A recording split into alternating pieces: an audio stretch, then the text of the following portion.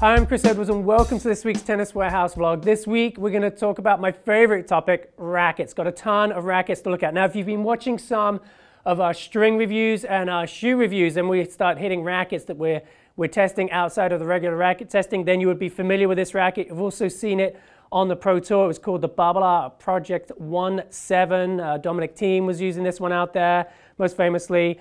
And finally, now just released out, it is the uh, new Babolat Pure Strike line of rackets. And you see this uh, cosmetic throughout the line of the strikes. Right now, I've got the 1619 in my hands, and that was the Project 1-7 racket that we were looking at. It's got the 98 square inch head size. This one comes in with an average strung weight of about 11.3 ounces. That's with a poly in it. Um, the flex on this one is a 67 RA, so it's nice and crisp, but it's a very comfortable racket.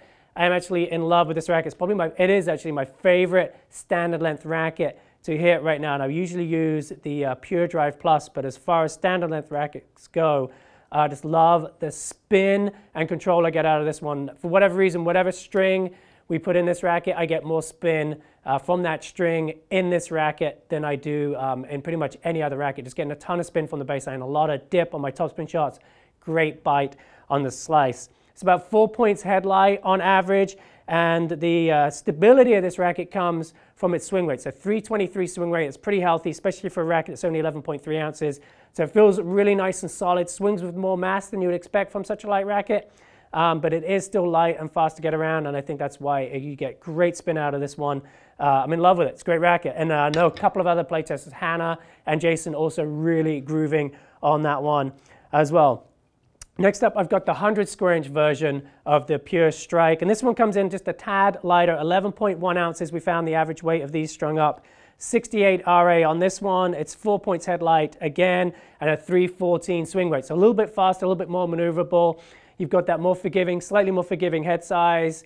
And again, just a really nice, solid playing racket. Great one for those intermediate through advanced level players looking for a nice blend of power and control right there. And then for something even lighter and faster, we have the team version of this racket. This one comes in with an average strung weight we found so far of 10.7 ounces, 68 RA on this one, only one point headlight, so it's very close to even balance.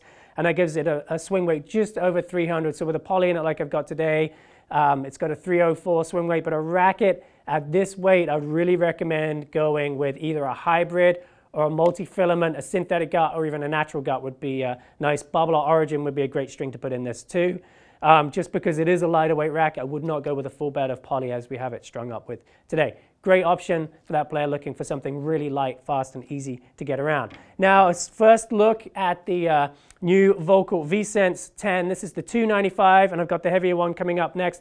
Not going to talk about the specs because we haven't measured enough samples yet to get a solid idea of what the average spec is going to be, but imagine it's going to be pretty close to the uh, outgoing uh, Super G models. Redesigned beam on these rackets, getting much more of a classic Volkl feel to them. This racket to me really plays uh, great for its weight. Very fast, easy to get around. I really feel like I can put the ball on a dime with this racket. Fun racket to hit. Again, good access to spin, much like the uh, Pure Strikes we just looked at, just because it's so fast and easy, and you've got plenty a nice spin window right there to play around with on that one. Here is the, the heavier version of the two. And uh, again, love the cosmetic update to these. Uh, really like the, the matte dark into the bright yellow on the 325 version of the uh, V-Sense 10. And again, this is a really nice, solid, very, very plush feeling racket. Super comfortable, great classic Volkl feel. Two rackets that I think fans of the Volkl and anyone who's looking for really nice classic players racket response are really going to enjoy those.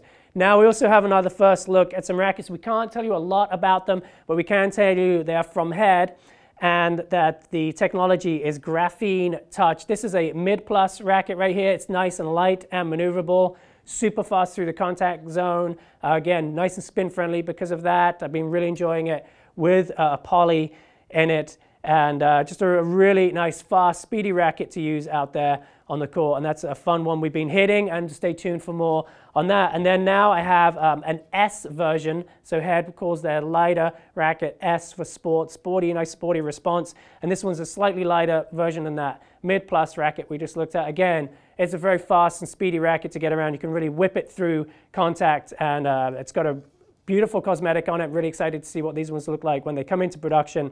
And we're just having a fun time hitting these prototypes right now. So stay tuned for more information on those rackets from Head. And that's all I got for this week. Thank you so much for watching.